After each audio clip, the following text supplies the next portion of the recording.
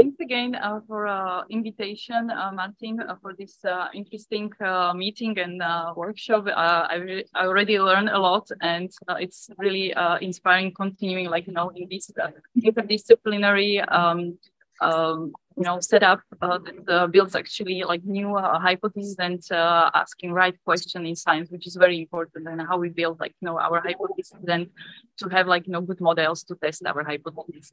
And i am bringing like you know in this lecture a little bit different point of view how to look at the immune system from the perspective of the metabolic disease because uh, in the morning uh, you could already uh, heard uh, from uh, colleagues uh, about the immune system, like you know how it fights against infectious disease. And my talk is gonna cover actually the topic on obesity and immunometabolism and how this actually um, disease can modulate adipose and immune cell function and uh, how also uh, outside of adipose tissue uh, these uh, changes uh, occurring and affecting other organs that uh, kind of learn also over the decade that I've been working on this field of metabolic disease. so as I mentioned, like from the time when I started, you know, study during my PhD studies, the problem of the obesity, which we know that it's a worldwide uh, problem. And uh, actually, uh, the prevalence uh, over the years uh, from the map, like, you know, that you could see uh, it's suffering, like, you know, people all over the world but uh, also uh, from the statistics uh, in uh, the top uh, 10 rank uh, um, countries which are suffering from this communicable disease is also Czech Republic, which is maybe not the top list to be you know, included in. But uh, also, when I was trying to look at the prevalence of the obesity on the page of the World um, uh, Health Organization, uh, so uh, that's the map that I found uh, recently, and uh, what's already covering also other problems, like you know, in our modern modernized. Um, um population is uh, that's not only the problem of the obesity or the uh, overweight uh, situation in um, the the worldwide uh, population, but it's also malnutrition. And uh, also the statistics says, says that uh, also in one country, there is already high prevalence, not only obesity, but also undernutrition, which is also very uh, important to mention, like, you know, that uh, these uh, things are also start happening in the early stage, like, you know, in childhood obesity, which is, I think, early stage that we already heard that how obesity can epigenetically already affect our organism, our immune system, and then we are predisposed to other com uh, complications that brings uh, with uh, this disease. And what is other thing to kind of highlight is uh, that it's preventable.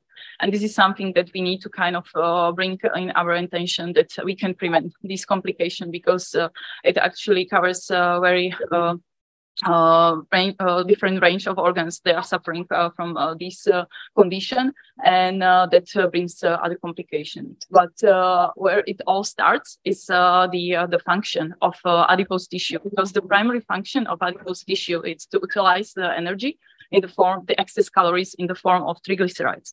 But then when this uh, function of the adipose tissue is impaired, the expandability of the adipose tissue is not able like know to cover all these excess calories with the obesity, that we are getting to this uh, lipid overflow situation that uh, these uh, lipids are uh, uh, by the other organs, they are exposed to this uh, lipotoxic uh, condition, the cardiovascular system, liver, skeletal muscle, pancreas, and uh, its uh, primary affect their function. And that leads uh, to impairment of the glucose homeostasis and insulin resistance.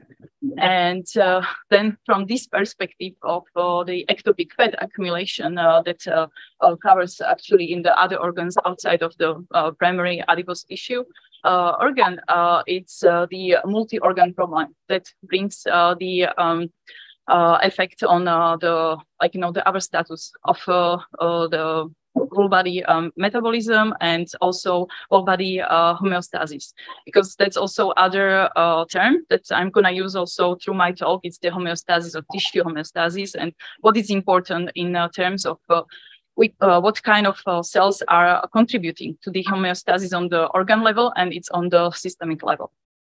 Uh, because uh, uh, as it was already defined like 20 years ago, It was uh, in the work of uh, Dr. Franze uh, in JCI that was the first time evidence of infiltration of immune cells in the adipose tissue.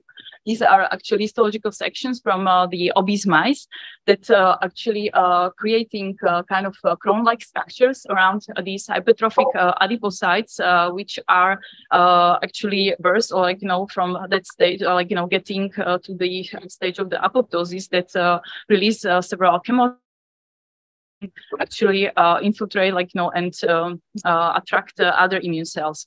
And this is the concept that we are like you know this field start like you know to build on the concept also the pro-inflammatory state condition in obesity and uh, as I mentioned, uh, then the uh, uh you know uh, release of uh, these different chemoattractants, other uh, molecules, they are actually uh, stimulating this immune cell from the circulation to infiltrate uh, the um, adipose tissue that brings together like you know two conceptual like you know different cell types in this concept of the tissue homeostasis. How to remove, of course, this that or you know not functionally working um, adipocytes, but uh, most importantly, it's the activation of inflammatory pathways. They impair actually the metabolic function of the adipocytes, and that's insulin signaling, which is very important for the primary function of this uh, tissue because uh, it's uh, regulating the glucose, the glucose transporters, uh, which are actually handling this uh, hyperglycemic state in our body.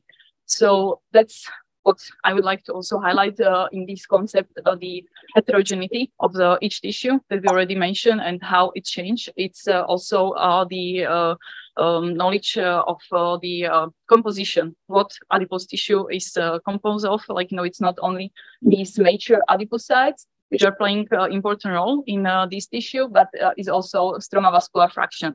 And uh, over the years, uh, with uh, these uh, different approaches to look at uh, the changes happening in the remodeling uh, and the like, you know, function of adipose tissue, there are studies showing like, you know, this stroma vascular fraction is changing with infiltration of different immune cell types. And over this 20 years, there have been already studies uh, showing that uh, it was not only macrophages, but also T, B cells, uh, neutrophils, eosinophils, and all is this, uh, you know, um, immune cell uh, aspect uh, play important role also in the homeostasis of adipose tissue. And then, uh, of course, using different uh, knockout animals to deplete the specific cell population only in the adipose tissue that brings also different aspect, how the function of this tissue, which is also very important in our body, that it's not like, you know, just some like, you know, filter or buffer of uh, these uh, excess calories uh, that we can you know, kind of have the code that we can remove. It's just uh, staying with us through our life and it's changing. And it's also just uh, these adaptations of the tissue that can actually modify already these immune cells as well. So uh, then we get uh, to that uh, term uh, immunometabolism, which has been uh, defined in 2011 that uh, we are getting like, you know, on the same field, like, you know, to interact from the perspective of the immunology and the metabolism, that these two disciplines are like, you know, playing important role, how we are defining um, and what is our actual biological question, what we want to define, because in terms of the metabolic levels, we are trying to define the homeostasis, like, you know, that how the tissue can still work, uh, like, you know, if uh, there is like, you know, some impairment of uh, the primary function of uh, one cell type, and then how uh, also the energy or the metabolites uh, coming from one cell type can be like, you know, handled and affecting the other cell types. So also other studies um, highlight uh, the uh, interplay between metabolic and immune system from the perspective that the immune cells and the adipocytes, like you know in this uh, term, like you know metabolic cells, uh, they can share uh, mm-hmm. common uh, properties. It's also the production of the cytokines that also in obesity condition, it has been shown that adipocytes can also produce with this actually stressful trigger which is uh, obesity, uh, the cytokines, they can affect uh, then the function, also the immune cells. But also uh, immune cells uh, can uh, engulf or like you know absorb or take up the um, adipose lipids. So and that's changing also their phenotype because, for example, mm, the adipocytes taken by macrophages they actually can be like you know present in atherosclerotic plaques and they can actually change also their phenotype in terms of like you know what is going to be their primary function and how they're going to handle this energy coming from the lipids. So uh, this is the perspective how uh, we are trying also to look at uh, the point of view, like you know what it means, uh, uh, the um, definition of um, the immune cell function, and like you know that how you know these cells can actually transfer, like you know, or sharing, like you know, these mm, these characteristics. So. Um, also, uh, maybe you heard that uh, we have different type of fat depots, and uh, they are changed uh, also in uh, terms of morphology, in terms of uh, the utilization of different um, fatty acids, but also the number of um, um, um, mitochondria, which is also important, like you know the reservoir energy um, mm, for uh, utilization. Actually, these excess calories, and then uh, they also affect uh, their function of uh, these uh, adipocytes because they can become also beige, uh, which is also one of the aspects from the obesity treatment that that was like know trend to induce the beiging or browning process in our body to have like know good you know factory that you can burn the energy and besides like know thinking that we need to have the balance equilibrium between the intake and the you know the release of the energy. Because uh, that is also related to the uh, primary function of uh, these uh, adipocytes, not on uh, energy storage, uh, thermogenesis, or secretion of different adipokines and cytokines, which are playing important role in this regulation of the full body metabolism but also how these uh, um, depots or these organs are um, reacting to this obesogenic, obesogenic uh, condition, uh, which many of these um, uh, papers uh, over these uh, 20 years already uh, nicely show with different animal models, also uh, with uh, human studies, that the white and brown adipose tissue can also become insulin resistant. So their primary function with the insulin signaling utilization of the glucose is not working properly, and they are inflamed. So in these terms, it means they are infiltrated, like you know, with immune cells, which are actually affecting their primary metabolic function and uh, uh, we were asking questions like you know the years like you know that uh, I managed uh, to work like with different uh, animal models but also with uh, clinical samples that how we can modulate this adipocyte immune cell function with different approach in obesity because uh, uh, you know as i mentioned it's a preventable disease. So uh, there is something like you know, that we can do. And the first uh, approach uh, which we are always trying to do is non-pharmacological uh, non-pharmacological. So to change our lifestyle like you know to um, you know um, modulate our diet or increase our exercise. If you know these approaches are not working properly like you know for this you know um, intermediate state uh, for uh, patients uh, that are at the beginning of uh, getting like you know uh, obesity or insulin resistance then has to be like you know the approach uh, with pharmacological treatment and from the point of view knowing that it's inflammatory state. Uh, people trying to use the anti-inflammatory, um, systemic anti-inflammatory drugs, which are actually affecting the full body, the function of the immune system, which is not very good because, like you know, we also mentioned that uh, it's uh, decreasing their uh, defense function of the immune cells, and then of course uh, brings like you know other complications. So uh, you know there are also studies, and I'm gonna touch a little bit on the work that we tried, like also with my colleagues, also in uh, US and uh, also my former colleague uh, from Karolinska Institute, Miriam Awadi, on the cellular specific targeting, like, you know, the function of the immune cells in specific um, Uh, um, uh, metabolic organ, how it actually affects the full body metabolism. And of course, the perspective from, uh, you know, clinical data, we know that we can't put all person, like, you know, based on one character in one uh, group, like, you know, and treat him like, you know, with one uh, uh, drug, because uh, there are also other factors they are contributing to their response uh, to different phenotypes. So, of course, it's more to be done and, yeah, and it's more uh, complex, but, and also the surgical that it's usually like happening when we have the severe obesity and then uh, there is more other problem actually with the regulation of the appetite and uh, things like that. But yeah, that's not the part of what I wanted to share with you today. So uh, from the point of the uh, non-pharmacological treatment, we are trying uh, to do this lifestyle intervention uh, with dietary uh, restriction, like, you know, in obese women that uh, I uh, was uh, really lucky to have very good mentors, uh, Professor Vladimir Štik and uh, also Professor Dominique Langean from Toulouse University. That uh, we did like you know really interesting um, study on um, using this dietary intervention of, of obese women over half year. That we were able to follow them in different time points of this very low caloric restriction diet to the weight maintenance stage, like you know they were like uh, on the low caloric diet, and were able to uh, take also the uh, clinical um, uh, adipose tissue biopsies and also follow them uh, with other measurements of clinical and biochemical analysis. That we were actually taking uh, this adipose tissue to look at the changes happening the more over the time because uh, we know that uh, some of the processes or like you know immune cells and uh, metabolic cells or adipocytes uh, can differently respond to this uh, kind of restriction or this kind of modulation that we are trying to control by by the diet. So at the time we had actually um, um, possibility uh, to use the microarrays uh, at the time. Yeah, there was no single cell sequencing. So you were trying to look at the uh, by separation of different uh, cell types uh, to look at the transcription profile, and then the whole tissue. We are looking at the changes happening over these different time points and also uh, by flow cytometry to look at the composition, how it changed. So, and also over these uh, time points that uh, we could see like, you know, followed by improvement of uh, the um, uh, metabolic uh, parameters. So uh, from this uh, transcriptomic data, what we found was uh, that the macrophages and adipocytes differently respond to this dietary intervention.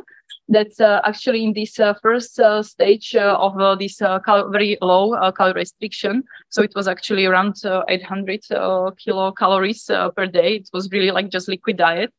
And they were also followed by the nutrition. So uh, nutritionist uh, so uh, that was well actually handled but uh, it was very interesting uh, to us to find this result that is in this first stage of the restriction that was mostly adipocytes. They were responding like, you know, uh, with changing uh, in their like, you know, uh, transcriptomic profile. And then after this uh, weight maintenance over these uh, five uh, or six months uh, of uh, this diet, uh, we were able to see the changes of decrease of uh, the presence of these macrophages in adipose tissue.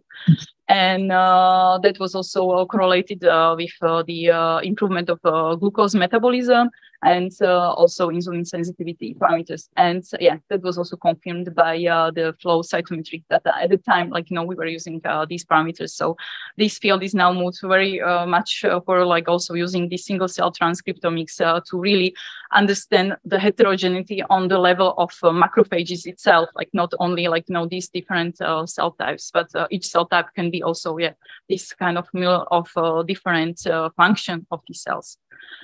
So uh, yeah, the summary of uh, this part was uh, showing that uh, really, uh, when we are looking on the cover, like you know, on the one uh, tissue, that also yeah, this is nice picture showing this presence of the crown-like structure in the obese adipose tissue, and I remember even the discussion uh, when I brought these slides uh, to pathologists uh, to help me, like, you know, define the macrophages in adipose tissue. So he was laughing at me that uh, what I'm trying to find, like, you know, in the adipose tissue, that it's not immune organs. So why we are interested in these cell types. And, you know, at the beginning, like, you know, when you are uh, starting, like, you know, studying something uh, interesting that it's now becoming like, you know, just kind of, you know, um, knowing uh, status that uh, we are all like you know trying uh, to look into it because it's important and playing important role in this crosstalk interaction between these uh, different cell types. But uh, that's what I wanted to mention that uh, really um, macrophages in adipose tissue took like, you know, this long time to really recover. Like, you know, of course,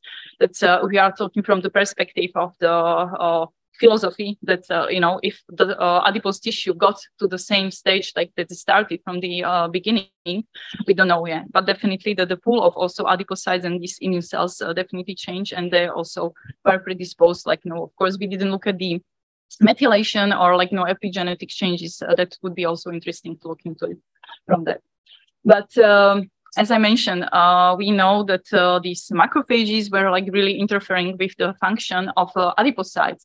So um, uh, really uh, finding the tool how we can really uh, target only one cell type in a specific tissue. That was really high challenging question or question or one million dollar that uh, well, we uh, was really lucky uh, to join the lab of uh, Professor uh, um, Michael Czech and then also uh, with the work of um, Professor Miriam Awadi, who is now in Karolinska Institute, that she had this great idea, and I was really um, touched, like you know, to be part of of these um, studies because it was really nice to show that if we can target the um, um, you know, macrophages only in a, a specific uh, tissue because as I mentioned, uh, obesity has, uh, you know, uh, the impact on different organ system and all of them are playing important role in the regulation of the glucose metabolism, such as liver or adipose tissue or muscle so that's very important like you know just uh, how also the obesity like you know over the time because it's also uh, in uh, many cases a chronic exposure that which organ is targeted as a first like you know to hit and then actually uh, to disbalance dysregulate the full body uh, glucose uh, homeostasis. So what in this approach we use was the preparation of these glucan RNA uh, siRNA um, uh, particles, which are actually um, uh, coming from the beaker yeast. And uh, after chemical extraction, we're able to get these uh, shells of the beta glucans. Uh, they can be actually uh, filled with uh, siRNA against your target gene. And then together with the endoporter, which is amphipathic um, peptide that can actually bring this siRNA into the cells, like, you know, and then do the job. So we're able also based on this, the composition of these particles, because it's based from this beta glucan, it's detected by phagocytic cells based on the receptor, but also based on the size, they uh, were able, like you know, uh, to deliver them uh, to these macrophages. And uh, you know, uh, to silence genes in uh, vivo, uh, maybe you uh, heard like, no, it's uh, not easy job, and uh, like, know that always things which works actually in vitro, so it's com completely more complex that you are fighting in the full body metabolism. So we were actually using the obese mice that we were trying to um, uh, target these uh, adipose tissue macrophages using these particles. They were injected in these mice uh, daily, and after one week, we uh, look at uh, their uh, metabolic and inflammatory response. So here you can see that you know these particles were labeled fluorescently, and you could see their presence in the macrophages. And uh, in this case, we were using siRNA against TNF alpha or osteopontin. There are like, know, inflammatory uh, genes known to be increased with obesity. And uh, the uh, presence, when we look at the histological section, because these uh, particles were injected intraperitoneally, they were present only in this epididymal or like know um, relevance in um, you know clinical um, uh, morphology. It's uh, visceral adipose tissue, which is mostly inflamed in um, um, obesity context and not in other organs. And uh, this was uh, also confirmed uh, when we look at the uh, the knockdown level in uh, this TNF alpha osteopontin in this epididymal adipose tissue, which was around 50%, but not present in the liver. And yeah, this also showed like on the when we look at the uh, expression of these target genes uh, in um, uh, small cell fraction. So then we ask, okay, what's happening uh, with uh, the uh, glucose metabolism? So we me measure the glucose tolerance test, like you know, in these mice, and you can nicely see the improvement comparing to scramble um, um, particles, and also improved on the insulin signaling. And that uh, Uh, from uh, going uh, from this perspective, uh, we are interested uh, if we are able to target actually the macrophages in the liver.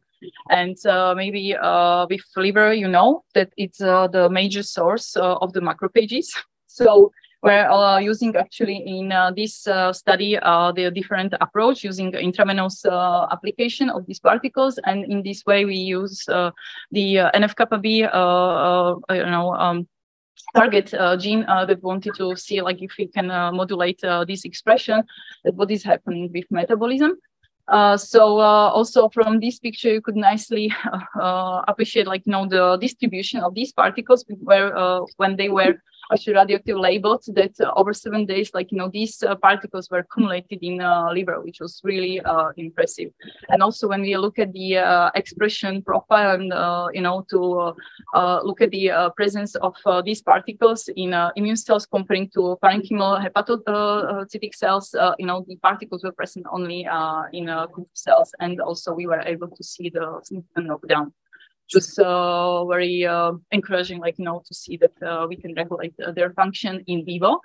So, and then when we look at the uh, glucose uh, tolerance test, so these uh, mice uh, had better, uh, you know, uh, improved glucose tolerance comparing to experimental control ones, and also the regulation of the gluconeogenic genes. But in this way, we weren't able to see the any impact on the liver steatosis, which was also like you know something which showed like also the dissection from the inflammation and then lipid accumulation step. So uh, just uh, talking about uh, these uh, different organs and how also this uh, inflammatory aspect can play a role also in the regulation of glucose metabolism with these studies and using this different, you know, approach cellularly, specifically like you know, targeting only macrophages in one tissue that we were able to see the regulation also on the systemic glucose tolerance. So from that point, as I mentioned, uh, the obesity affects uh, also other uh, adipose or like you know metabolic organs, and one of them is also bone and uh, skeletal system. Because uh, the studies uh, clinical studies and also animal studies show that obesity and diabetes increase the adiposity also presence in bone marrow and uh, it's correlating also with the higher osteoporotic and uh, fracture which is also very important, especially when we have like, you know, now uh, uh challenge question when uh, we have uh, aging population and, uh, you know, all these processes are happening in the also other organ system that we want to slow down, like, you know, these processes that actually brings us like, you know, to this determination of the primary function of each organ. So from like, you know, knowing this um, how it works in periphery. Uh, like, you know, that's why I was intrigued, like, you know, to look into this bone marrow adipose tissue, because at the time when uh, I had these sessions uh, uh in the lab of uh, Professor uh, Mustafa Kassem, I really kind of brought, like, you know, this topic, okay, we can look at this, like, you know, what is happening with this tissue in obesity condition because uh, uh, from the point of uh, immunology, actually bone marrow is the primary also like uh, immune organ because there are uh, present uh, different cell types. So besides these hematopoietic stem cells that had been already mentioned, they are playing important role also in the immune defense and in the lymphoid or lymph myeloid precursors, which are also then released into circulation to play important role. So there are also um, these osteoclasts that are contributing to the bone homeostasis homeostasis. And uh, the other, you know, niche present in uh, this uh, uh bone marrow that has been already mentioned uh, in morning uh, uh, presentation, these uh, stroma uh, cells, uh, these uh, bone marrow mesenchymal stem cell, they are contributing to the part of uh, the bone homeostasis, bringing osteoblasts, but these cells can also differentiate to adipocytes. And these can be, these processes affected by different pathophysiological condition because the um, accumulation of adipose tissue in bone marrow is normal, like, know, physiological, like, know, process happening during aging, but also in starvation, anorexia, anorexia or uh, diabetes. And these are completely uh, different uh, conditions, like from the physiological point of view. And uh, it has these common factors. So we just wanted to know that uh, what is happening in this function. And um, so in this review, we were trying to summarize these changes because in many of the studies, you could see that uh, people are just looking only on the one parameter, and that's just hematopoietic cells, or uh, then just uh, like you know these bone marrow cells from the perspective of the bone, because uh, that's uh, uh, this um, field of the bone marrow adiposity started actually more of the bone biologists kind of overlook, you know, to see these adipocytes present in the bone marrow, so they kind of define it as white ghosts that they don't play important role in this mm-hmm. microenvironment. But uh, this uh, brings us also like, you know, to this uh, tissue homeostasis and the, you know, the balance between different immune cells and like, you know, these stroma cells, which are important role. And in this aspect, these cells are going through several steps of like, you know, division proliferation. So it's the energetically demanding like, you know, organ. And uh, in this way, like, you know, this energy is rewiring, like, you know, between uh, these cells and then how it affects, uh, you know, of course, their release into the circulation. Then, of course, this uh, primary boost, like, you know, in the bone marrow is affecting then the function of this primary organ outside of, of, of the bone. And uh, that gets uh, like, you know, with obesity to these complications that we already mentioned with impairment of glucose tolerance. So uh, let's, uh, you know, from this aspect of uh, using different metabolic pathways, how these uh, cells are like, you know, state in uh, the quiescent or differentiated uh, stage depends on the outside triggers that it's stressful condition that can be with the injury, but infection, but it can be also with these metabolic disturbances that are actually like, you know, um, activating these cells to be prepared, like, you know, to use this energy for their differentiation or like also producing these uh, different uh, metabolites, which uh, are contributing to their phenotype. And uh, on this list, as I mentioned at the beginning, so it's also now this uh, new player, like, you know, uh, in the field that it's this yellow or bone marrow PET that it's, you know, first study showed that has similar characteristic of um, white and brown adipocytes. But in terms of the um, phenotype in the obesogenic condition, if uh, it can be insulin resistant or inflamed. So, and how we can define this, uh, knowing uh, this definition from the peripheral adipose tissue. So we asked this question uh, uh, using uh, the animal models and uh, we use uh, high-fat diet mice so that they were treated before this um, high-fat content diet for up to five months. That you could see like you know this nicely increase of adipose um, genic uh, like you know compartment uh, in this uh, uh tibia of these bones. So this is also osmium staining showing in these bones, like you know in 3D culture, sorry, 3D um, structure. The presence of these adipocytes, how they expand, like you know, these tibias of the hyperdiet mice, and has a negative impact actually on the bones, losing trabecular cortical. And uh, also uh, proposing this is like no calcium staining showing uh, the decrease of the uh, dynamic uh, bone formation that uh, is slowed down that contribute to their like you know less bone mass but uh, then uh, from the perspective of adipose tissue, we look at the profile of the peripheral visceral adipose tissue, which I already showed you that it can be inflamed, insulin resistant. So these uh, were uh, in the uh, you know same mice uh, taken mm, these samples of visceral adipose tissue and bone marrow fat. And surprising to us was that these depot had a completely different phenotype almost like you know that uh, the insulin signaling genes and adipogenic genes uh, were uh, upregulated with adiposity. So it's uh, with that if this uh, depot is uh, kind of um, protected from this obesogenic or inflamed condition.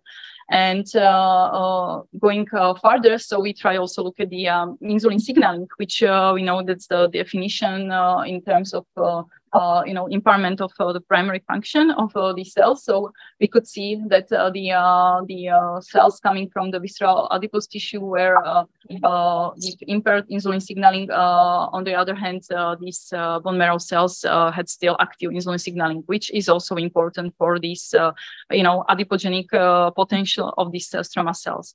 So uh, this uh, also was a question for us if, okay, uh, we don't have the presence of this inflammatory uh, environment uh, from the perspective of knowing uh, the upregulation of the inflammatory genes, that it means, okay, they have still active insulin signaling, would it affect then from different perspective their function? So of course, it was a little bit unexpected results. We wanted to be sure that if it's the same in humans. so from this um, um, hypothesis. So uh, we uh, were able to get uh, bone marrow aspirates uh, from uh, people with a different uh, body mass index. So from the lean, overweight, and obese, and we look at their differentiation potential and metabolic um, um, characteristics. And what we could see was uh, that uh, these cells uh, were in both ways, like, you know, hyperactivated in terms of increased osteogenesis, adipogenesis. They had increased insulin signaling, but this was also um, um, associated with uh, increased uh, presence of the senescence and the ROS production. Uh, that uh, we tried then uh, through inhibition that uh, I didn't present in this slide, but in this study actually we summarized that when we control and inhibit this insulin signaling in the cells, so they can actually decrease their senescence phenotype and also production of ROS and changing their you know potential like you know to become a more uh, osteogenic genes so uh, to us this was also really interesting uh, hypothesis on this uh, hypermetabolic uh, stage of these cells that uh, with this obesogenic condition like you know they are acting this way and um, mm, you know, of course, the question was like, you know, when we have some treatments, uh, if we can modulate also this parameter of these bone marrow cells, bone marrow adipose tissue. So uh, in uh, this study, we did already uh, here now uh, in the lab here in Prague uh, that uh, we were able to use uh, the anti-diabetic drugs, which uh, from this perspective on the aspect on the bone metabolism, usually these anti-diabetic drugs such as TZD, TZDs or thiazolidinediones, they are activators of PPAR gamma because that's the major uh, problem of the peripheral adipocytes that they have not active this uh, pathway. But if that it's promoted, uh, so it's promoting also PPAR gamma in bone that actually increase the adiposity and then uh, actually uh, cause the side effects uh, of the increased fractures. So uh, there were already uh, now um, uh, colleagues in US, they are working actually on different TZDs analogs. They have less actually activity on the activation of uh, PPAR gamma. And uh, we use it in this study uh, to uh, see if uh, these uh, different uh, TZD drugs, like, you know, can have different effect on the bone environment. So from um, the micro uh, structural, um, you know, analysis uh, of the bone structure uh, of uh, actually vertebra, because that's also the um, site of the risk of the fractures uh, in animals and also humans. We could see that uh, the um, porosity, which is also one of the parameters of the losing, like you know, good bone quality, was decreased. So it's also nicely shown by these pictures that these pores were actually decreased these uh, cortical bones uh, of uh, the drug, like you know, that has less side effects. We could see also the improvement of the bone strength. Sorry. And um, uh, we could see also the changes on the uh, level of the bone marrow adipocytes.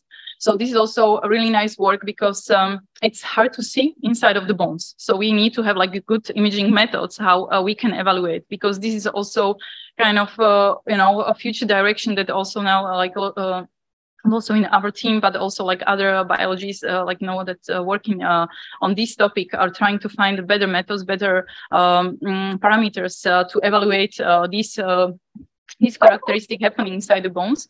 And uh, we are able with the contrast agent uh, to see by the micro CT the different composition of this adipocyte. And um, it also uh, changed the differential potential. I don't know how I'm with time. Uh, eight, eight minutes. Okay, so yeah, I don't know if I'm rushing too much, but just uh, uh, wanted to give you like the flavor of uh, these different type of adipocytes and how they behave, like you know, in these uh, conditions uh, with the systemic local regulation. But also with these uh, different um, antidiabetic drugs that uh, pioglitazone, which is typical P- uh, TZD, uh, we could see that uh, it has really like no uh, effect on the differentiation that didn't stimulate the adipogenesis, but it's promoting the osteogenesis.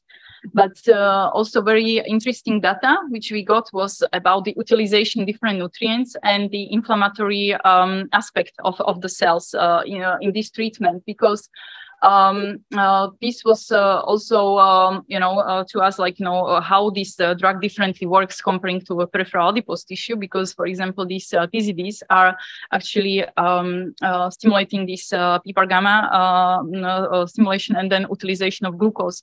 But in these cells, we could see that the glucose wasn't the primary, that they are mostly like utilizing glutamine. And that was also shown that the glutamine is important for osteoblast osteoblastogenesis. And that was also the parameter that we found. And uh, also this uh, parameter on the uh, inflammatory aspect was that uh, uh these uh, TZDs are in periphery actually uh, decreasing inflammation. However, in these bone cells, we could see the upregulation of the inflammatory markers and also senescence markers, which were decreased with the other TZD analog. So that's uh, just uh, the summary of, of this aspect that we could, uh, you know, uh, use then uh, just a different approach how uh, we can look at also on the different organ level, like, you know, these changes happening when we are trying to regulate things in um, also different organs. Because here I wanted to kind of highlight the uh, from the talk, what I was talking about, this peripheral adipose tissue, and how we can define in the local environment the inflammation or like you know just how these uh, immune cells uh, can play a role like you know in this uh, tissue homeostasis because if um, peripheral adipose tissue in obesity we have this uh, uh, hypertrophic um, uh, adipocytes and then the infiltration of immune cells. So it's like, you know, less immune cells, they are coming and uh, doing like, you know, the worst, like, you know, to that tissue. On the other hand, we have uh, this uh, bone marrow fat that has a primary, uh, like, you know, reservoir of the immune cells, of the progenitors of immune cells. And then we have these invading adipocytes. They are, like, you know, taking over over the time that uh, these, uh, of course, uh, where when we are uh, looking uh, at these changes, of course, like you know, it's a early stage or a predisposition, like you when they are exposed to obesogenic factor, or it's with aging, or uh, then with this chronic exposure. You know, this, of course, homeostasis can be completely changed.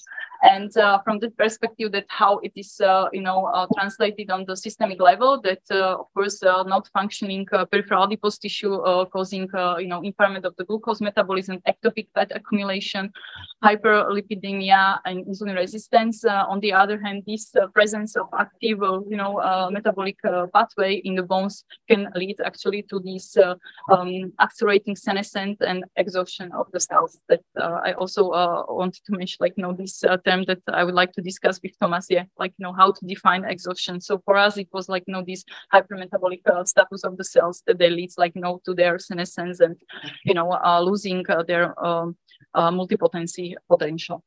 And uh, from uh, this uh, point of view, like, you know, how to look at, uh, you know, these uh, problems in the full body uh, system is that I really like these papers showing on the organ levels that each organ actually age a different rate because of course their function is changed and of course how we want to actually target that and on the specific of like, you know, the timing of the treatment and how we can predispose like, you know, these complications because uh, this is, I think, uh, something uh, we have to take into consideration that when we are looking like, you know, just from the perspective only from one cell type or one organ system, but it's also working in the global crosstalk between different organs, especially when these cells are, you know, um, um, have uh, you know uh, they uh, care like you know of course uh, these uh, different or carry uh, these different pathways they are present in all of them. So of course when we are approaching with the systemic treatment so we can actually um, you know improve the function in one organ but in the other one we are actually causing a worse phenotype. So that's how we need to look into it so thank you for your attention. And also I would like to thank uh, my colleagues and also my former colleagues that really inspire me on this uh, work, uh, continuing like, you know, uh, to ask new questions and kind of uh, breaking the dogma uh, in terms of like, you know, just how this, you know, um, um, physiological condition can affect like, you know, the crosstalk between organs.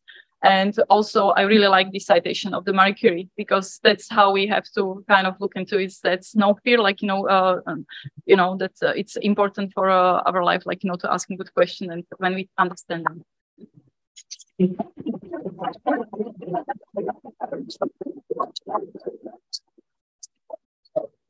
Um, okay, thank you very much for the very rich talk with uh, a lot of data and fascinating information about um, adipose tissues and the immune system and how they interact. I was wondering, like, because there are some animals that naturally accumulate a lot of adipose tissues, right? Uh, I think think here about animals like bears, seals, maybe elephants, right? So I was wondering how how does it work in their case? Do they also have like this kind of inflammatory phenotype of the adipose tissues? Because if not, maybe there is something hold the key to understand like what's really uh, different about us humans. And then maybe if there is an elevation, maybe there is some sort of adaptive advantage from that. Maybe bears who elevate the inflammatory phenotype then uh, are more likely to fight infection, for example, when they sleep uh, in winter time. I don't know, just uh, hypothesizing. Thank you very much. Yeah. Thank you very much. That's a great question. And uh, actually, I was kind of expecting that maybe that could bring, like, you know, to our hypothesis because uh, these animals um, are in different conditions. For example, bears are uh, hibernating. So that's the phase in which they are accumulating fat for the energy storage to survive uh, that winter time. So it's completely different exposure because then uh, we are talking about the cold exposure in uh, human. And that's also one of the approach how people are trying to treat obesity, like, you know, this inducing chronogenic, uh, you know, potential of uh, adipocytes for example, for seal, it's also different uh, environment because they are also kind of in the cold environment, and uh, they are also, I don't think, like you know, they are moving a lot, so they need like you know somehow like you know to protect their body temperature. So de definitely, uh, from uh, the uh, evolutionary perspective, that would be really interesting how uh, these phenotypes are changing, like in context of this condition, and what are different you know pathways or molecules secreted by by these depots. But of course, it's not easy um, uh, to get these kind of uh, biopsies yeah, from these animals. Uh, actually, when uh, I work in uh, Denmark, so uh, they were actually trying um, to get the biopsy from the bear from the hibernating bear. so there was even actually uh, the talk about how they were actually, uh, you know, trying to find these bears and take the biopsy because that was also kind of uh, approach that they wanted to see, like, you know, this protective phenotype that uh, we would like to, you know, of course, promote in uh, human adipose tissue. Uh, yeah, thank you.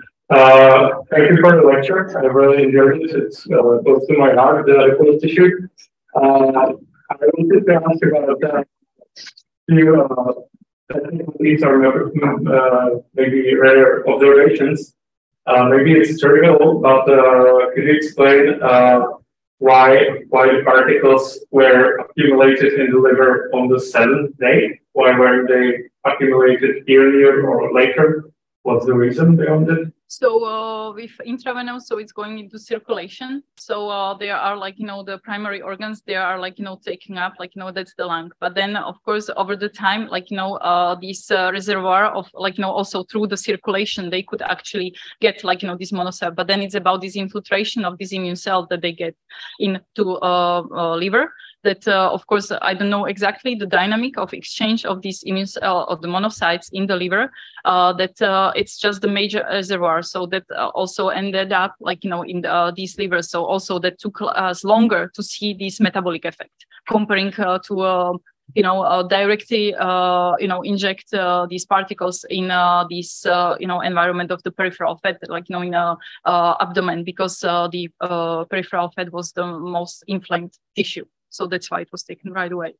Okay, thank you. Uh, can, I, uh, can I also ask uh, whether you observed uh, increase in uh, fibrotic uh, fibrotic extracellular matter in the bone marrow under the conditions of obesity, or whether it's without fibrosis I think from this perspective, uh, it's mostly for the regeneration when uh, you have like, you know, the injured or like, you know, the break bones and then you need to uh, regenerate. So from this uh, perspective, I don't think uh, there is definition of the fibrosis uh, like we know it from the peripheral tissue.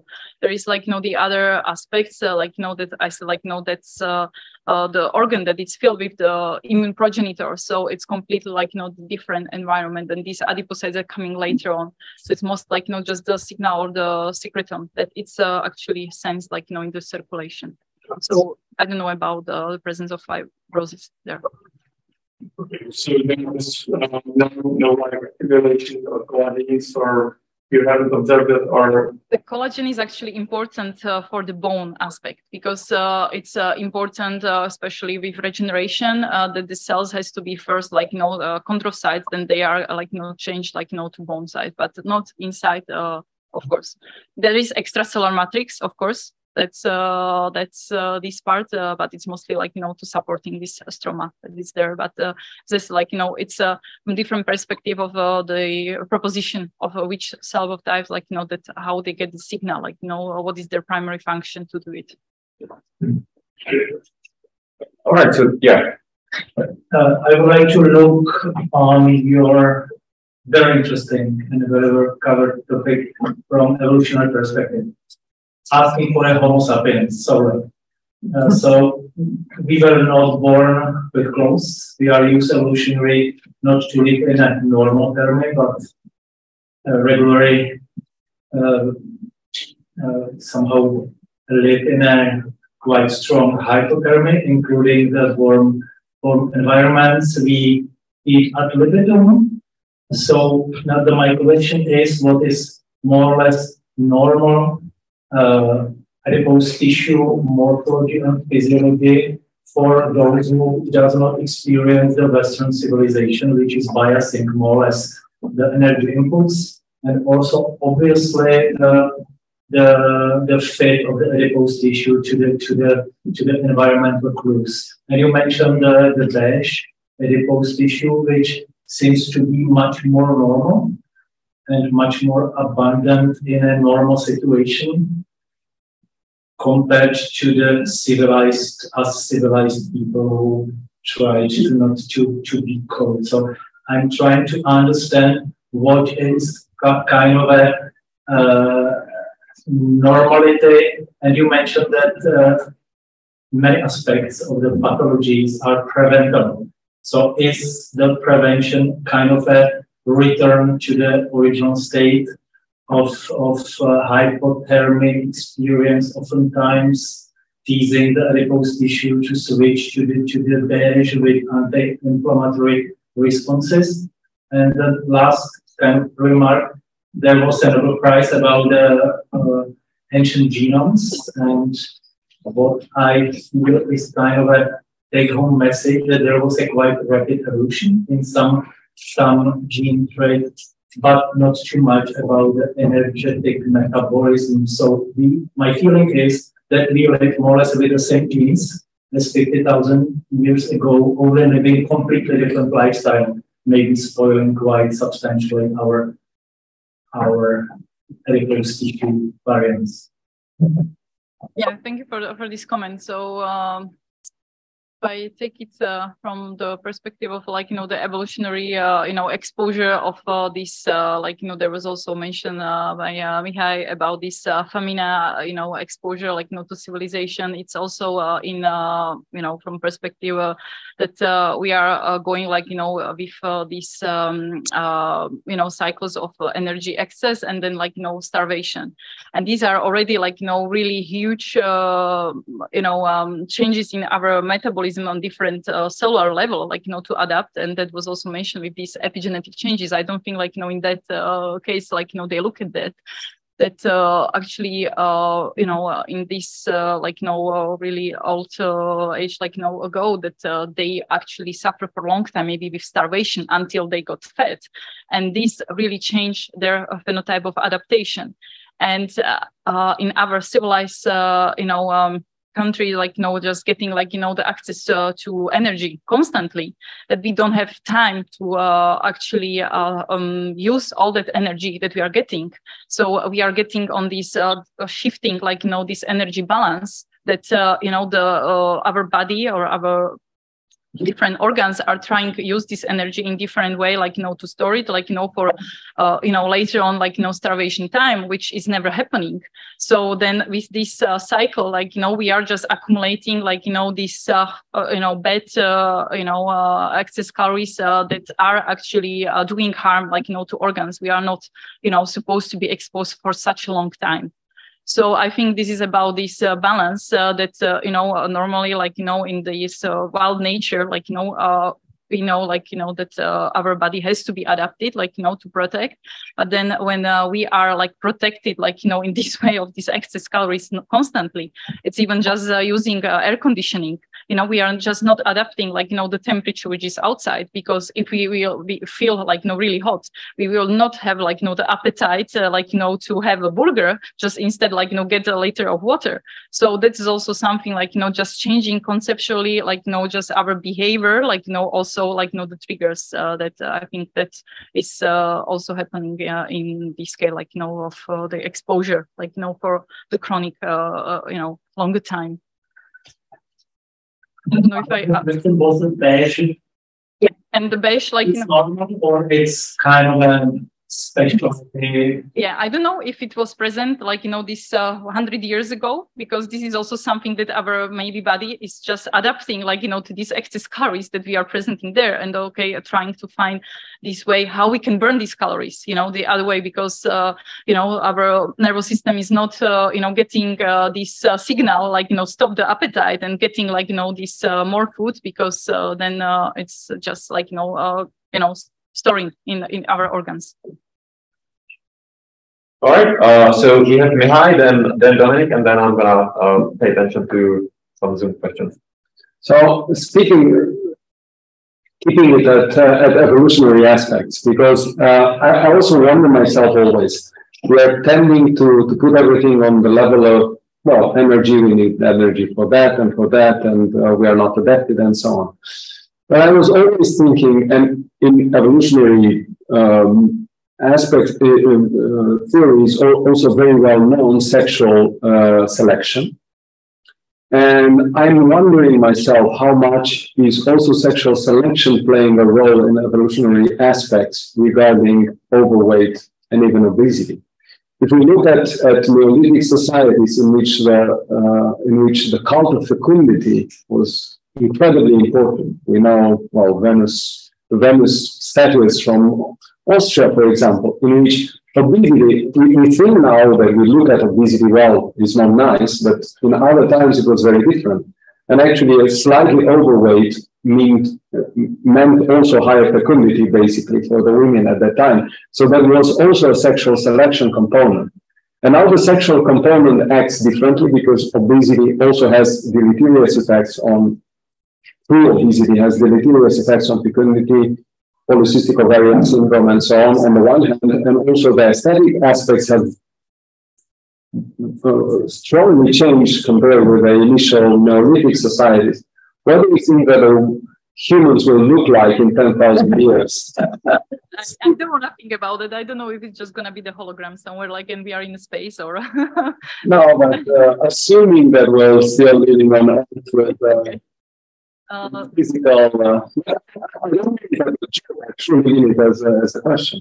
No, of course, yeah. Like you know that uh, this uh, Venus uh, model that has like you know actually some uh, even explanation behind it because uh, yeah, like now uh, we know that even uh, gluteal fat has like protective effect, and uh, these women with this uh, pear shape, like you know, uh, uh, phenotype have uh, better, for example, cardiovascular, uh, you know, and. But what, what I mean is, I, I think the cultural aspects and and sexual preference actually are very important drivers of, of evolution as well.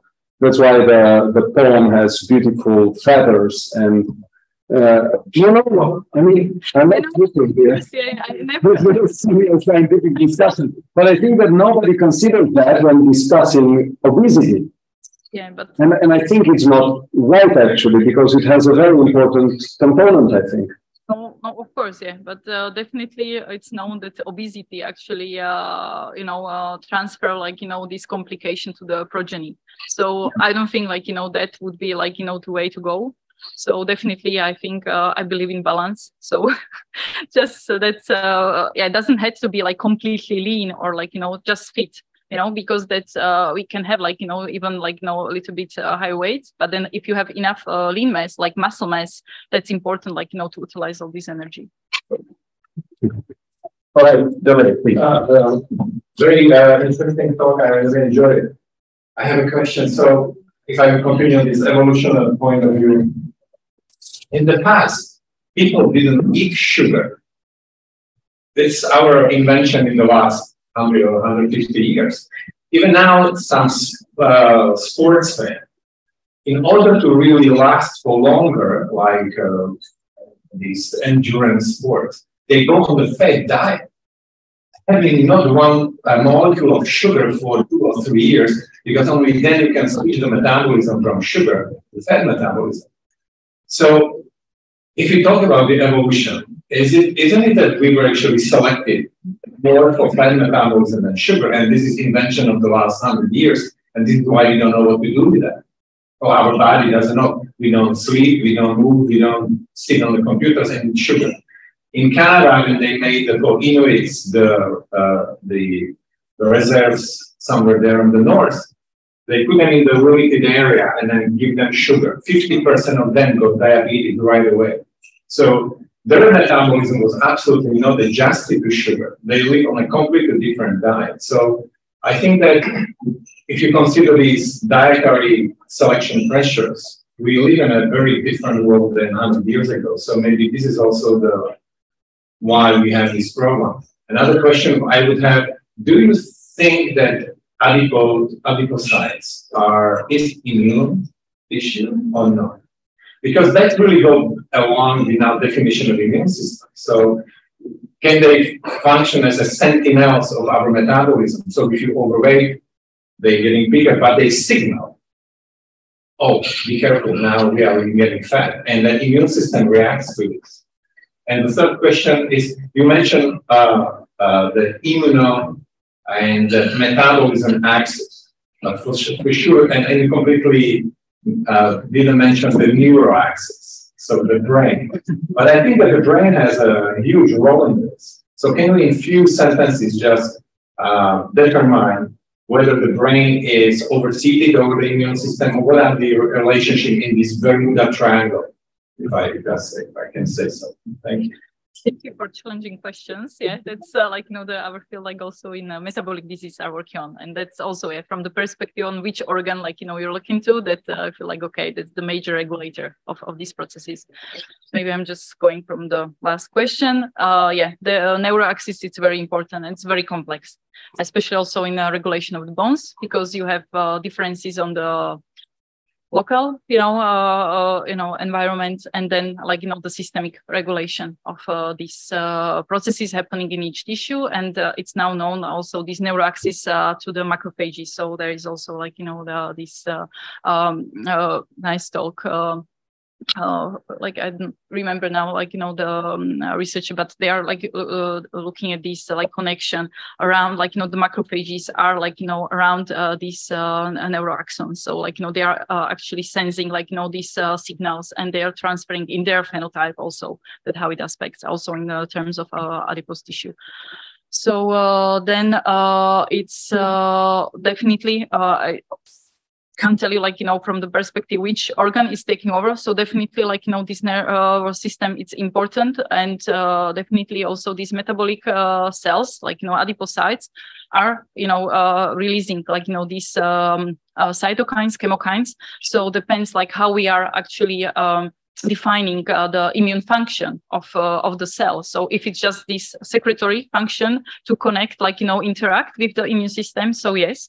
But then if it's like you know just building some antibodies or like you know then uh, of course uh, to engulf like you know these uh, other like you know detrimental aspects. So i don't think they have this possibility. But it's just also about that uh, now we know about this crosstalk between cells just sending some through the vesicles like you know microparticles like you know just to affect the function of the other cells to do their job because they are primarily like you know made to do that.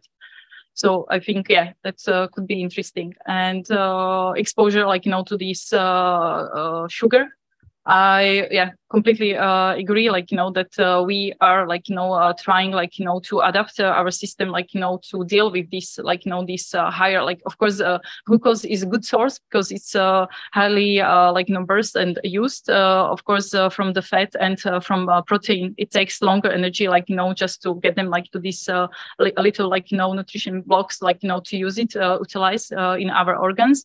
So it's like you know this fast response, but of of course, like, you know, if we have it exposed, like, you know, uh, over like, you know, uh, these uh, other nutrients that are important uh, for the homeostasis, because like, you know, these nutrients coming from proteins, for example, glutamine, which is a very important antioxidant aspect. So this is also something that we need to take uh, into account, like, you know, just, okay, uh, that this has to be, you know, more controlled and we have to realize it also.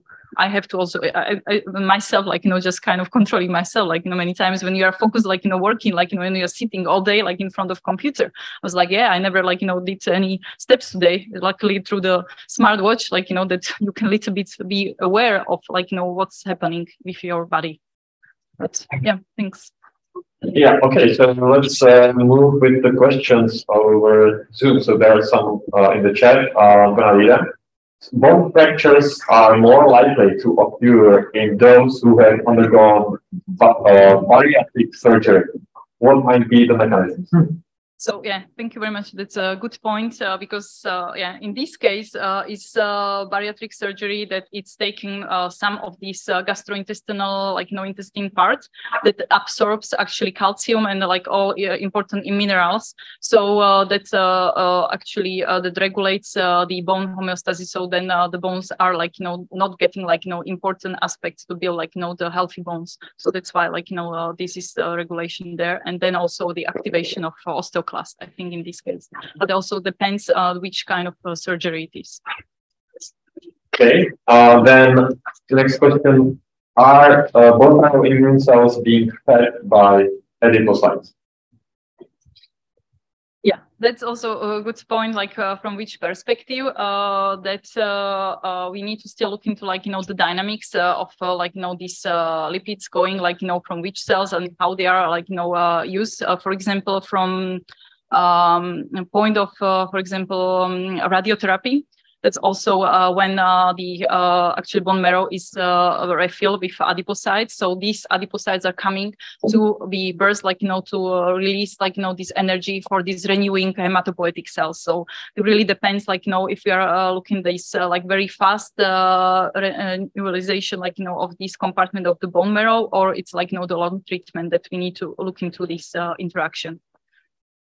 Okay, and finally, uh, marrow adipocytes and marrow uh, immune cells actually they correlate in any way. So uh, in uh, this way, uh, I would like to also maybe then uh, leave it for a panel discussion uh, that uh, what we define uh, by inflammation, because uh, in the aspect of the uh, bone marrow, so there are these like you know precursors which are actually playing like their immune role outside of the bone marrow, but then there are like these osteoclasts which are staying there and they are playing role in terms of the bone resorption. We don't know yet, like you know that if they are in different, for example, pathophysiological conditions releasing more, for example, cytokines. So it's about like, you know, the function in specific tissue, how it's actually uh, playing and how we are looking at this role, like, you know, the inflammatory state or immune state, or uh, it's uh, also remodeling state. Okay, so yes, please. Uh, immunological question. Uh, the kind of a hallmark population, immune population, which is linked to hyperthermia, hypothermia disorder, are gamma delta T cells. And are linked to the differentiation of and functionality of the, as I know uh, from the, in the was an paper uh, showing the production of IL-17 and and uh, transformation of the white uh, adipose tissue to, to, to browning and somehow controlling the, the expenditure. And it could be kind of rational behind the, the hardening and the immune response, kind of uh, enhanced responsiveness to, to pathogen. So, from your perspective, the, the person who is interconnecting the immunity and the, and the metabolism, uh, for me, it seems to be too nice to be true, too, too simple, too simple connection, which is explaining too much. So what, what do you think? Because gamma delta cells, people are looking for the real function for them. There are several different subtypes, and it seems to be key regulators of uh, energetic metabolism uh, in a, a relevance to the to the to the uh, to the temperature. Um, can you maybe rephrase, like, you know, what is the question? Like, you know, that only that uh, these cells? Your opinion about that? I, I mentioned that that link seems to be too nice to be true. It's so, so, uh, so, so many explaining in one that there is a gamma delta T cell which is activating during the uh, cooling the temperature down. It goes to the to the fatty tissue and sends the signal for transformation of a bite adipose tissue to beige, which can produce the heat. That's the story behind the paper and all the interpretation, which is nice uh, linking between the immune system and the energetic metabolism. And uh, you, you show that it's a very complicated story. Yeah. And it's oversimplification. So what's your your your opinion about Okay, so maybe I now. You mean specifically in that paper, like you know, this connection of the specific cell types, of course, yeah. So uh, yeah, I would ask maybe other question, like you know, just what is the percentage of this population, like you know, uh, you know, bringing like you know, in uh, the aspect of the homeostasis of the tissue, you know, because if it's just one percent or like you know, even one, I, don't know. I am not immunology, so I don't know about uh, this uh, specific uh, population of uh, T cells. So just of course, it's more complex in terms of the dynamics of infiltration different immune cells. So of course course uh, depends uh, if you pick like you know one window that uh, okay doesn't show like no other you know complications but then when you look into like i don't know like one week later so, so something else happened like the tissue. So if it's giving like you know completely protection over like no longer treatment yeah that's that's nice and that's perfect. Like you know if there is like you know these uh, you know cell types that can you know actually really regulate that process but then I would maybe look into like you know that what was uh, like you know uh, the uh, context like you know taken from from that uh, experiment to regulating because of course yeah there are several uh, cell types that are like you know contributing to this homeostasis. So I always like you know trying to emphasize uh, this cellular crosstalk and this you know different organ crosstalk.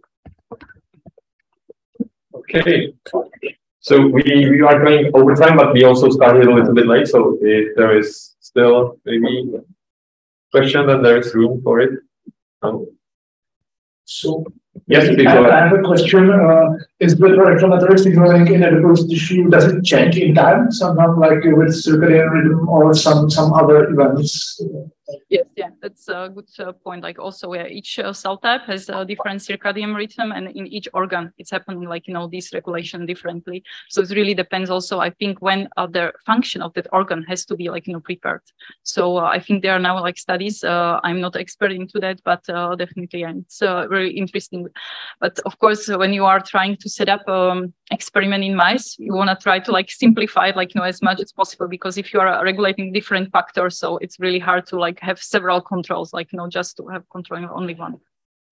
Thank you.